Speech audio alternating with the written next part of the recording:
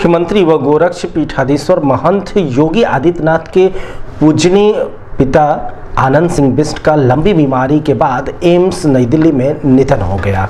समाचार सुनकर गोरखनाथ मंदिर परिवार द्वारा एक शोक सभा का आयोजन किया गया, जिसमें कार्यालय सचिव द्वारकानाथ तिवारी ने शोक संदेश पढ़कर उपस्थित सभी नाथ संप्रदाय के योगी, साधु, संत, धर्माचार्य एवं कर्मचारियों को सुनाया। इस शोक सभा में श्री गोरखनाथ मंदिर के प्रधान पुजारी योगी कमलनाथ योगी धर्मेंद्र नाथ योगी सूरजनाथ, योगी दिनेश नाथ वीरेंद्र सिंह दिव्य कुमार सिंह, विनय गौतम, आनंद गुप्ता, दुर्गेश बजाज, जयप्रकाश सिंह, गणेश खजांची, परदेसी राम, कैलाश प्रजापति, सुरेंद्र शर्मा, संतोष कुमार यादव, देवेंद्र भारती, पन्नालाल, हिमालय गिरी, राम लक्ष्मण, मंदिर सुरक्षा के पदाधिकारी रमापति प्रसाद, बलराम सहदेव, लक्ष्मण नारंग, बच्चन सिंह, गणेश तिवारी, अमित केशरवानी, दिलीप कुमार मुदलवान भगत शर्मा, मोहम्मद यासीन, मोहम्मद जाकिर अली,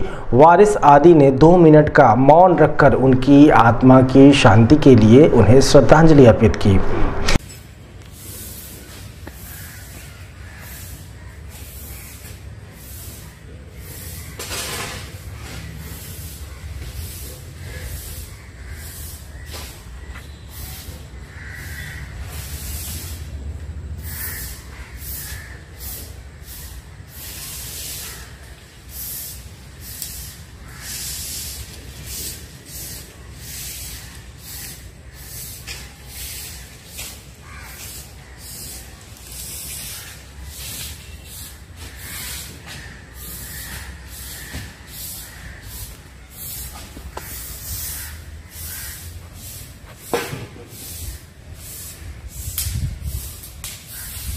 इस बारे में मीडिया कर्मियों से बात करते हुए गोरखनाथ मंदिर के कार्यालय सचिव द्वारकानाथ तिवारी ने बताया।